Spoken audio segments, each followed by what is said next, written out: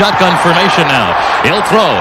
Has time. Looking, looking, fires downfield. Air in the end zone. It is caught. Touchdown. Nobody does it better.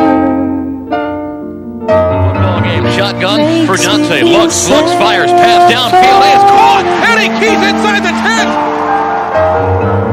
10. Nobody does it as good as you.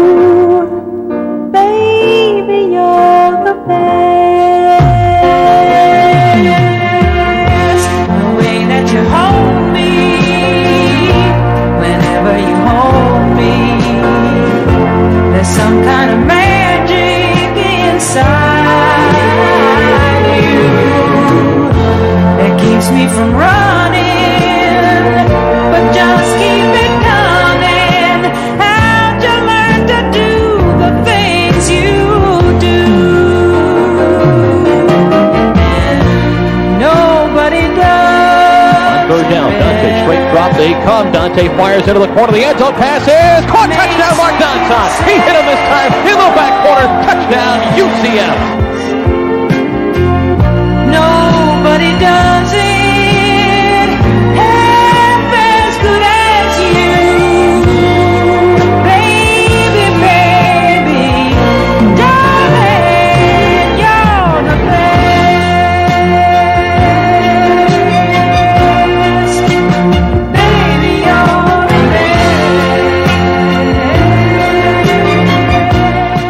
UCF football program has indeed grown.